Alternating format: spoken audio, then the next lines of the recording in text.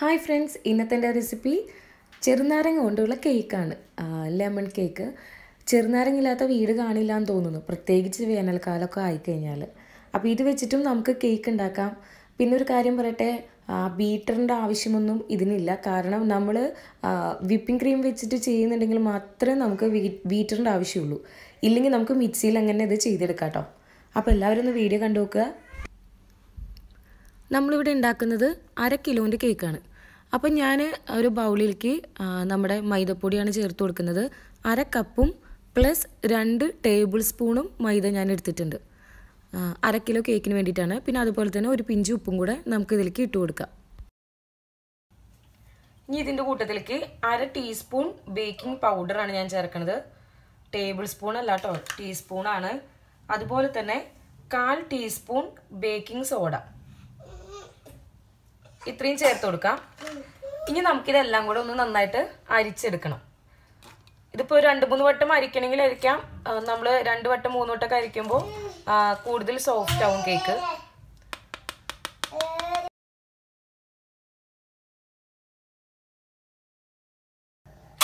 ഇപ്പം നമ്മൾ പൊടികളെല്ലാം അരിച്ച് വെച്ചിട്ടുണ്ട്.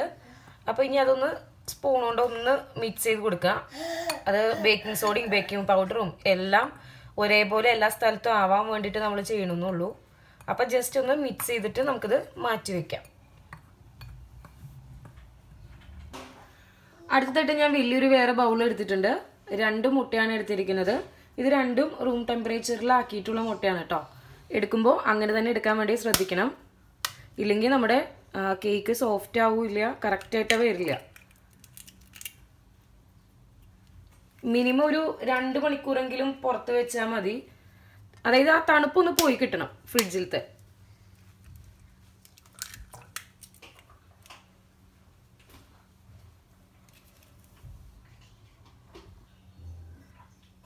ഇനി നമുക്ക് ഈ മുട്ട നന്നായിട്ട് ബീറ്റ് ചെയ്തെടുക്കാം. ഞാനിവിടെ ഒരു ബീറ്റർ യൂസ് ചെയ്തിട്ടാണ് ചെയ്യുന്നത്. നിങ്ങളുടെ കയ്യിൽ ഇല്ലെങ്കിൽ മിക്സി വെച്ചിട്ടായാലും ചെയ്താൽ മതി.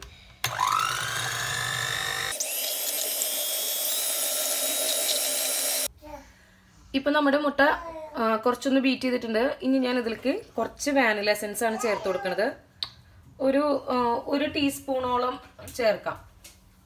എന്നിട്ട് നന്നായിട്ട് ഒന്നും കൂടെ ബീറ്റ് ചെയ്യാം.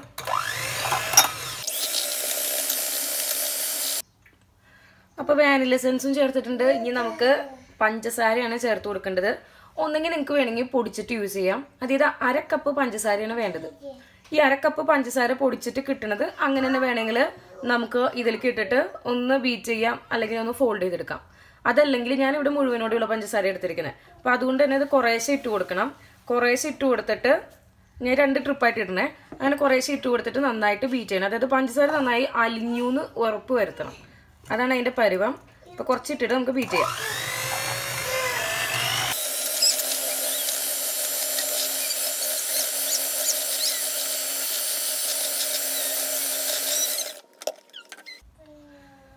അടുത്തതായിട്ട് നമുക്ക് ഒരു ചെറുനാരങ്ങയുടെ നീര് പിഴിഞ്ഞു വെക്കണം. അപ്പോൾ ഒരെണ്ണം എന്ന് പറയുമ്പോൾ ചെറുതാണെങ്കിൽ ഒരെണ്ണം മുഴുവൻ എടുക്കാം. ഒരു മീഡിയം സൈസ് ആണെങ്കിലും കുഴപ്പമില്ല കേട്ടോ. ഒരു മീഡിയം സൈസ് നാരങ്ങയാണെങ്കിലും ഫുള്ളായിട്ട് എടുക്കാം. ഭയങ്കര വലുതൊക്കെ ആണെങ്കിൽ ഹാഫേ എന്റെ എടുക്കാൻ പാടുള്ളൂ. എന്റെ ഇവിടെ ഉള്ളത് ഒരു മീഡിയം സൈസാണ് അപ്പോൾ അതുകൊണ്ട് തന്നെ ഞാനത് മുഴുവനായിട്ട് പിഴിഞ്ഞു വയ്ക്കുന്നുണ്ട്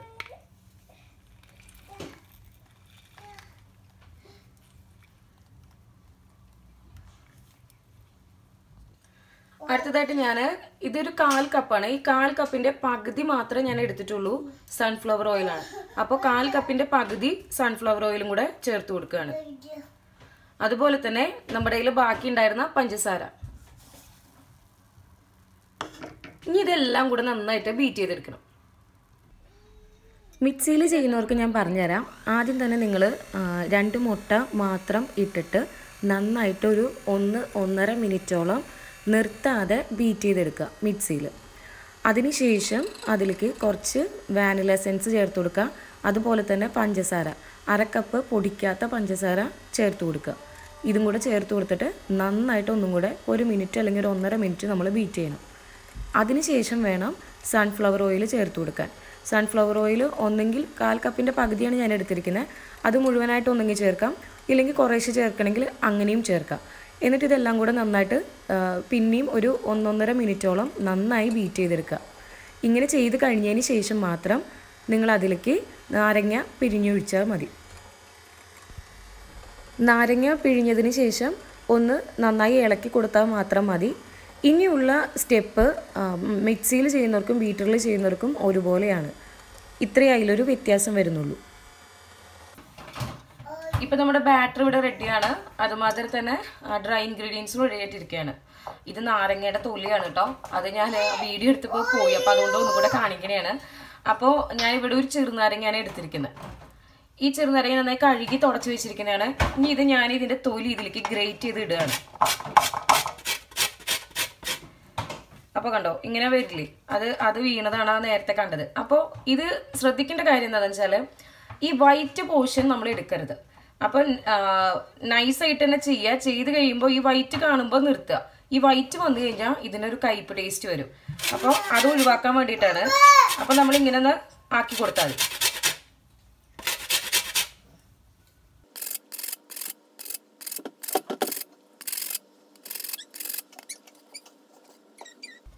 ഇപ്പൊ കണ്ടില്ലേ നമ്മളൊരു നാരങ്ങ മുഴുവനായിട്ട് ഗ്രേറ്റ് ചെയ്ത് ഇട്ടിട്ടുണ്ട് ഒരു മീഡിയം സൈസ് നാരങ്ങയാണെങ്കിൽ അത് മുഴുവനായിട്ട് എടുക്കാം കേട്ടോ ചെറിയ നാരങ്ങയൊക്കെ ആണെങ്കിൽ വളരെ ചെറുതാണെങ്കിൽ രണ്ടെണ്ണം വരെ എടുക്കാം. ഇതിങ്ങനെ ഇടുമ്പോൾ നല്ലൊരു ഫ്ലേവറാണ് ഇതിന് കിട്ടുക. നല്ല മണമാണ് നമുക്കത് ചെയ്യുമ്പോൾ തന്നെ മനസ്സിലാവും. ഗ്രേറ്റ് ചെയ്യുമ്പോൾ ഇവിടെ മൊത്തം നല്ല മണമായിരിക്കും ശരിക്കും അതിന്റെ ഒരു എസെൻസ് പോലും നമുക്കത് കിട്ടും. അപ്പം ഇനി ഇതിലേക്ക് ഞാൻ ഈ ഡ്രൈ ഇൻഗ്രീഡിയൻസ് ഇട്ട് കൊടുത്തിട്ട് ഫോൾഡ് ചെയ്തെടുക്കുകയാണ്. ഡ്രൈ ഇൻഗ്രീഡിയൻസ് ചേർത്ത് കൊടുക്കുമ്പോൾ ശ്രദ്ധിക്കേണ്ടത് നമ്മൾ എല്ലാം കൂടെ ഒരുമിച്ച് ഇടരുത്. കുറേശ്ശെ ഇട്ടിട്ട് പതുക്കെ പതുക്കെ ഫോൾഡ് ചെയ്തെടുക്കുക. ഇത് ഒറ്റയടിക്ക് അങ്ങോട്ടും ഇങ്ങോട്ടും വെട്ടിച്ച് നമ്മൾ ഇളക്കിക്കൊണ്ട് ഇരുന്ന് കഴിഞ്ഞാൽ കേക്ക് കറക്റ്റായിട്ട് പൊങ്ങി വരില്ല. അത് തന്നെയല്ല കറക്റ്റ് സോഫ്റ്റായിട്ട് കിട്ടില്ല. അപ്പോൾ അതുകൊണ്ട് തന്നെ കുറേശ്ശെ പൊടി ഇട്ട് കൊടുത്തിട്ട് പതുക്കെ ഫോൾഡ് ചെയ്തെടുക്കുക. ജസ്റ്റ് ഒന്ന് മിക്സ് ആവാനേ പാടുള്ളൂ. ഓവർ മിക്സിങ് പാടില്ല അത് പ്രത്യേകം ശ്രദ്ധിക്കുക. ഇതാ ഇവിടെ ഇപ്പോൾ നമ്മുടെ കേക്കിന്റെ മിക്സ് റെഡി ആയിട്ടുണ്ട്. ഓവർ മിക്സ് പാടില്ല. അത് പ്രത്യേകം ശ്രദ്ധിക്കുക. അപ്പോൾ ഇനി ഞാൻ എടുത്തിരിക്കുന്നത് ഒരു കേക്ക് ടിന്നാണ് അര കിലോന്റെ കേക്ക് ടിന്നാണ് എടുത്തിരിക്കുന്നത്. ഇതിലേക്ക് ഞാനൊരു ബട്ടർ പേപ്പർ ഇട്ട് കൊടുത്തിട്ടുണ്ട്. കുറച്ച് ഓയിലും സ്പ്രെഡ് ചെയ്തിട്ടുണ്ട്.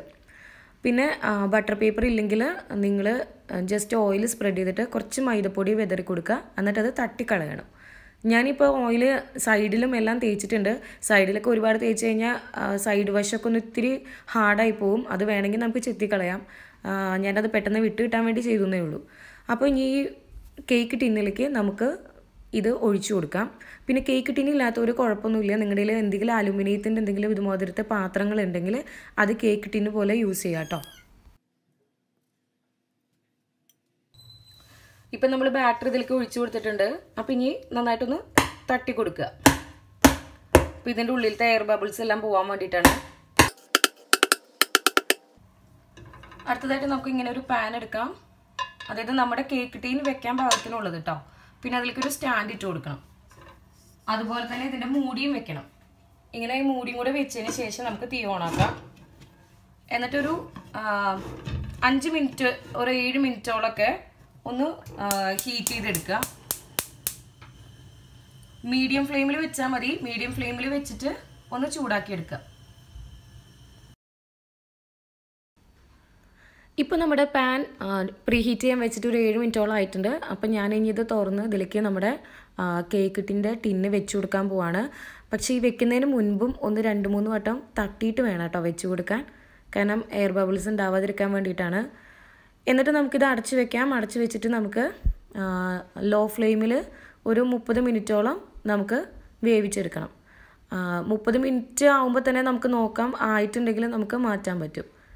അപ്പോൾ ഇങ്ങനത്തെ പാൻ ഇല്ലെങ്കിൽ ഏതെങ്കിലും ഒരു പാത്രത്തിലായാലും സ്റ്റാൻഡ് ഇട്ട് കൊടുത്തിട്ട് വെച്ചാൽ മതി കേട്ടോ ഇപ്പോൾ ഒരു മുപ്പത്തഞ്ച് മിനിറ്റ് കഴിഞ്ഞിട്ടുണ്ട്. അപ്പോൾ ഞാൻ തുറക്കാണ്. നമുക്കിനി ഇതൊന്ന് കുത്തി നോക്കാം. കണ്ടോ? ഇതായിട്ടുണ്ട്. ഇത് ക്ലിയർ ആയി വന്നിട്ടുണ്ട്. പിന്നെ നടുഭാഗം കുറച്ചൊന്ന് കുഴിഞ്ഞത് എന്താണെന്ന് വെച്ചാൽ മുപ്പത് മിനിറ്റിന് മുൻപ് തന്നെ ഞാനൊന്ന് അറിയാതെ തുറന്നു പോയി. പെട്ടെന്ന് ഞാൻ ഈ അടപ്പ് കറക്റ്റ് അല്ല ഇരിക്കണേന്ന് തോന്നിയിട്ട് ജസ്റ്റ് ഇങ്ങനെ ഒന്ന് ആക്കിയിട്ട് ഇങ്ങനെ ആക്കി. ജസ്റ്റ് ഒന്ന് ആക്കിയുള്ളൂ. അപ്പോഴേക്കും അതൊന്ന് താന്ന്. അതാ പറ്റിപ്പോയത്. അപ്പം ഇനി എന്തായാലും നമുക്കിത് തീ ഓഫാക്കാം എന്നിട്ട് ഇത് ഇതിൽ നിന്ന് തന്നെ മാറ്റി വെക്കാം. അതായത് ഇനി ഈ ചൂടിൽ ഇരുന്നിട്ട് ആവരുത്. ഒന്നും കൂടെ ആവും. അപ്പോൾ ഒന്നുകിൽ ഇത് വേറൊരു സ്റ്റവിലേക്ക് വെക്കാം. അല്ലെങ്കിൽ പാത്രം തന്നെ എടുത്ത് മാറ്റാം.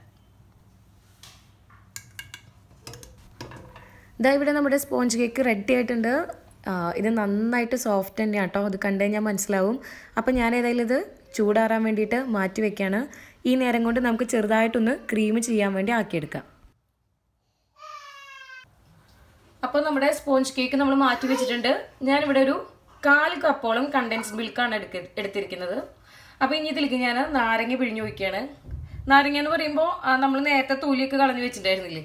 അത് തന്നെ എടുത്തിരിക്കുന്നത് അതിന്റെ ഒരു ഹാഫ് ആണ് എടുത്തിരിക്കുന്നത് ഇതൊരു വലിയ നാരങ്ങയാണ്. വലുതെന്ന് വെച്ചാൽ ഒരു മീഡിയം സൈസ് അതിന്റെ ഒരു ഹാഫ് പോർഷൻ മാത്രം എടുക്കുന്നു അതിന്റെ നീരൊഴിക്കുന്നു. ഇപ്പം നാരങ്ങ നീരും കൂടെ ഒഴിച്ചിട്ടുണ്ട്. ഇനി നമുക്ക് നന്നായിട്ട് ഒന്ന് ഇളക്കി കൊടുക്കാം.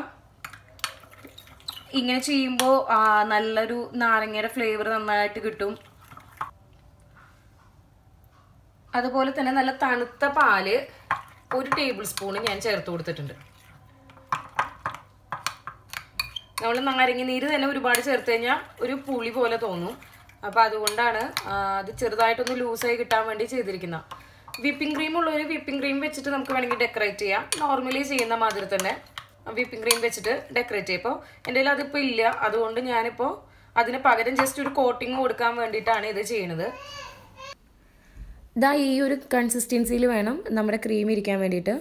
അപ്പോൾ ഇത് തയ്യാറായിട്ട് ഇനി ഇത് മാറ്റി വയ്ക്കാം നമുക്ക് നമ്മുടെ കേക്ക് എടുക്കാം. ഇതിപ്പോൾ കേക്കിന്റെ ബാക്ക് സൈഡാണ് കേട്ടോ ഇത് ശരിക്കും. നമ്മുടെ മുകൾ ഭാഗമല്ല ഇത്. അപ്പോൾ ഞാൻ വേണമെങ്കിൽ നമുക്ക് ഈ ബാക്കിൽ തടിവശവും സൈഡും ഇത്തിരി ഹാർഡായിരിക്കും അപ്പോൾ ഒരുപാടല്ല. എന്നാൽ കൂടിയും വേണമെങ്കിൽ നമുക്കത് മുറിച്ച് കളയാവുന്നതാണ്. അപ്പോൾ ഇത്രയും കൂടി ടേസ്റ്റ് ആയിരിക്കും കഴിക്കാൻ വേണ്ടിയിട്ട്. അപ്പോൾ അങ്ങനെ വേണമെങ്കിൽ ചെയ്യാം. ഞാനത് ഇവിടെ ചെയ്യുന്നില്ല. എന്താന്ന് വെച്ചാൽ വിപ്പിംഗ് ക്രീം ചെയ്യുകയാണെങ്കിൽ സൈഡ് വശമൊക്കെ കറക്റ്റ് കവറായി പോകും ഇതിപ്പോൾ വീഡിയോയിൽ കാണിക്കുമ്പോൾ ഒരു ഭംഗിക്ക് വേണ്ടി ഞാനത് ചെയ്യുന്നില്ല കേട്ടോ. ഇതാണ് കേക്കിന്റെ മുകൾ ഭാഗം. അപ്പം ഞാൻ ഈ ഭാഗത്ത് തന്നെയാണ് ക്രീം തേക്കാൻ പോകുന്നത്. അതുകൊണ്ട് ഈ ഭാഗത്ത് നമുക്ക് ഇനി ഇങ്ങനെ ഒരു ഫോർക്ക് യൂസ് ചെയ്തിട്ട് നിറയെ അങ്ങനെ ഒന്ന് കുത്തി കൊടുക്കാം. ഇങ്ങനെ കുത്തി നന്നായി കുത്തി കൊടുക്കുമ്പോൾ ആ കണ്ടൻസ് മിൽക്കൊക്കെ അതിലേക്ക് ഇത്തിരി ഒന്ന് ഇറങ്ങി കിട്ടാൻ വേണ്ടിയിട്ടാണ് നമ്മൾ ചെയ്യണത്. വിപ്പിംഗ് ക്രീം യൂസ് ചെയ്യാത്തതുകൊണ്ട് തന്നെ ഇങ്ങനെ ചെയ്യുമ്പോൾ ഇത്തിരി ടേസ്റ്റ് കൂടും. അപ്പം നമുക്ക് നന്നായിട്ടൊന്ന് ഇങ്ങനെ കുത്തി കൊടുക്കാം. ഇപ്പോൾ ഇവിടെ നമ്മുടെ കേക്ക് നന്നായിട്ട് ചൂടാറിയിട്ടുണ്ട്. അപ്പോൾ ചൂടാറിയതിന് ശേഷം വേണം കേട്ടോ നമ്മൾ ഈ ക്രീം തേച്ച് കൊടുക്കാൻ. അപ്പോൾ ഞാനിനി ഇതിന്റെ മുകളിൽ ഇതിങ്ങനെ സ്പ്രെഡ് ചെയ്ത് കൊടുക്കുകയാണ്. ഒരുപാട് ലൂസായി പോയി കഴിഞ്ഞാൽ നമുക്കിതിങ്ങനെ ഇതിന്റെ മുകളിൽ തേച്ച് കൊടുക്കാൻ പറ്റില്ല. അപ്പോൾ അതുകൊണ്ടാണ് ഞാൻ കറക്റ്റ് ഞാൻ പറഞ്ഞല്ലോ. ആ ഒരു അളവിൽ പാലും കണ്ടൻസ് മിൽക്കും എടുക്കാൻ വേണ്ടി നോക്കുക. ഇനി നമുക്ക് ഇത്തിരി നാരങ്ങയുടെ തൊലിയും കൂടി ഇതിലേക്ക് ഗ്രേറ്റ് ചെയ്ത് കൊടുക്കാം. അങ്ങനെ ചെയ്യുമ്പോൾ നല്ലൊരു മണമാണ് പിന്നെ അത് കാണാനും കുറച്ച് ഭംഗിയായിരിക്കും. അപ്പോൾ അതൊന്ന് ഗ്രേറ്റ് ചെയ്തിട്ട് കൊടുക്കാം. അതിനുശേഷം ഞാനിവിടെ ചെയ്തിരിക്കുന്നത് ചോക്ലേറ്റിന്റെ സിറപ്പ് ഉണ്ടല്ലോ. അത് ജസ്റ്റ് ഒന്നിങ്ങനെ ചെയ്തു എന്നുള്ളൂ. എന്റെ കേക്കിന്റെ മുകളിൽ കൂടെ കുറച്ച് ഒഴിച്ചു എന്നേ ഉള്ളൂ. ഹെയർ ഷീസിന്റെയാണ് ഞാൻ യൂസ് ചെയ്തിരിക്കുന്നത്. അപ്പോൾ ഇത്ര തന്നെയേ പണിയുള്ളൂ. നമ്മുടെ ലെമൺ കേക്ക് ഇവിടെ റെഡി ആയിട്ടുണ്ട്. ഞാൻ പറഞ്ഞല്ലോ ഓൾറെഡി ഇപ്പോൾ വിപ്പിംഗ് ക്രീം ഇല്ലെങ്കിലും ഈവൻ കണ്ടൻസ് മിൽക്ക് ഇല്ലെങ്കിലും നമുക്ക് ഇങ്ങനെ ഒരു സ്പോഞ്ച് കേക്ക് പോലെ നമുക്ക് യൂസ് ചെയ്യാൻ പറ്റും. നാരങ്ങയാണ് നാരങ്ങയുടെ കേക്കാണെന്ന് വിചാരിച്ച് ആരും ട്രൈ ചെയ്യാതിരിക്കരുത്. കാരണം ഇതിനൊരു പുളി അങ്ങനെയൊന്നും ഉണ്ടാവില്ല കേട്ടോ. അത് ചെയ്ത് കഴിഞ്ഞാൽ ഞാൻ മനസ്സിലാവും. നല്ല ടേസ്റ്റാണ് നല്ല മണമാണ് നമുക്കൊരു വെറൈറ്റി ആയിട്ടൊക്കെ ഇടയ്ക്ക് ഉണ്ടാക്കി നോക്കാൻ പറ്റുന്ന ഒരു ഐറ്റമാണ് അപ്പോൾ ബീറ്റർ ഇല്ലെങ്കിലും നിങ്ങൾക്ക് ഉണ്ടാക്കാൻ പറ്റും. മിക്സി ഉപയോഗിച്ച് ഞാൻ ഓൾറെഡി അത് പറഞ്ഞിട്ടുണ്ട്. അപ്പോൾ എല്ലാവരും കേക്ക് ഒന്ന് ട്രൈ ചെയ്ത് നോക്കുക. അഭിപ്രായം പറയുക ചാനൽ ഇതുവരെ സബ്സ്ക്രൈബ് ചെയ്യാത്തവരുണ്ടെങ്കിൽ ഒന്ന് സബ്സ്ക്രൈബ് ചെയ്തേക്കുക. വീഡിയോ ഇഷ്ടപ്പെട്ടാൽ ലൈക്ക് ചെയ്യുക ഷെയർ ചെയ്യുക കമന്റ് ചെയ്യുക.